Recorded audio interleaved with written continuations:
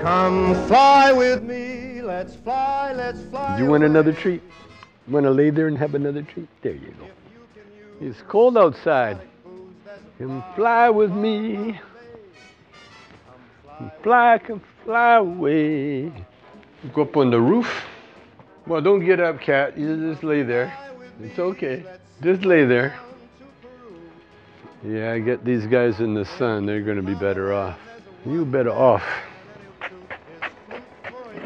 And, and what they find out, pot really is a medicine. You know, there's some places that are trying to close the medical and just make it recreational, which is going backwards. The only reason we got it legal was because it was medical. Beer is recreational, and that'll kill you. Skiing's recreation, and if you do it wrong, that'll kill you. Pot is medicine. And if you take too much medicine, you know, you go in a coma and you get healed. so it's crazy.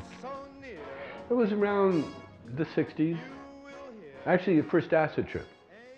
It was the first acid trip when I took acid for the first time. It wasn't called acid. It was called. It wasn't called LSD. It was called try this.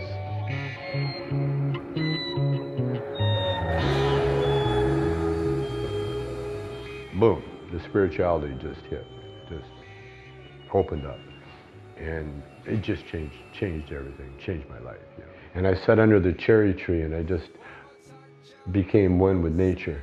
And the birds are eating the cherries, and I'm sitting there. And I, I was just totally one with nature. And everything, everything just made sense.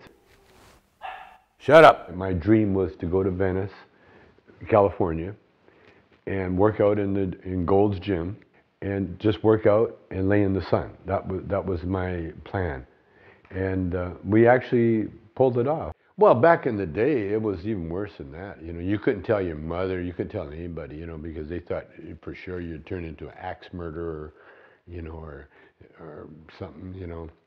I used to joke that they used to say that uh, you smoke pot and you'll have a baby, uh, your baby will be born looking like a foot, you know.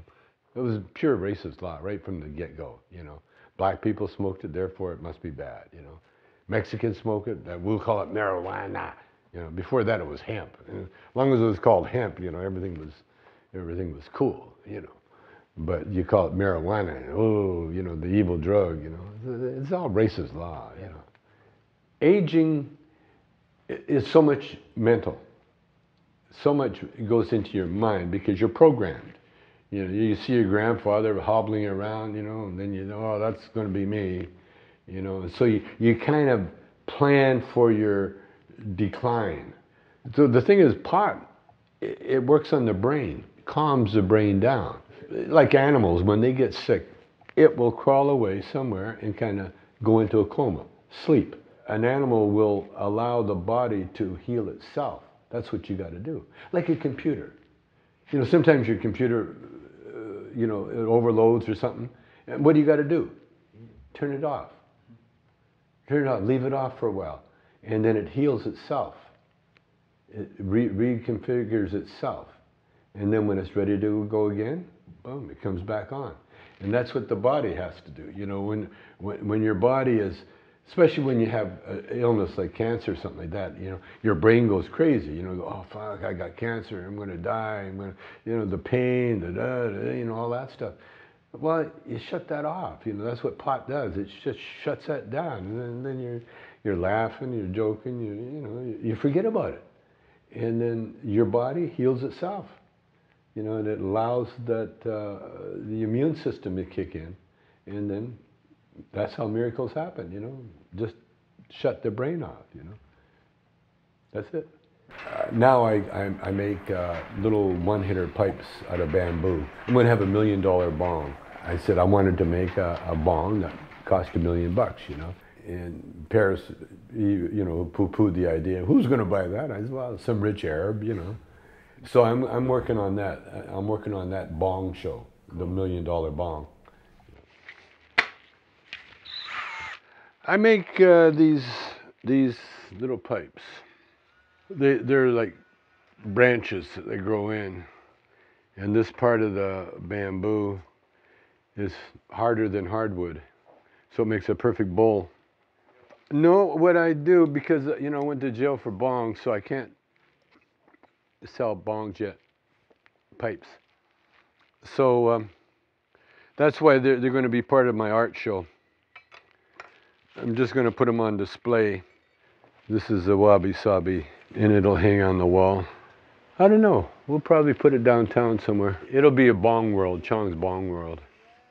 You know, Chong's bong world. Oh yeah, I like that. Let's fly. Starry It's a healthy way to, to stay busy while you're smoking. I make a pipe, carve it out, drill it out and everything else. And then I test and I get too stoned to drill.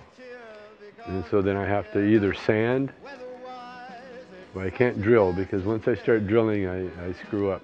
but that's it.